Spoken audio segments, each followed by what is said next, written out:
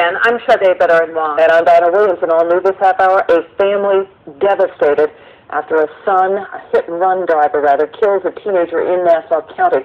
16-year-old Oscar Veliz was riding his bike in Hempstead when the car ran into him and then simply kept on going. Eyewitness News reporter Josh Einiger spoke with the family today and has more tonight from the scene of the crime. Josh? Yes, Diana, it happened right here along Clinton Street around 7 o'clock on Tuesday evening. Oscar Veliz was coming from the other side of the street here against traffic.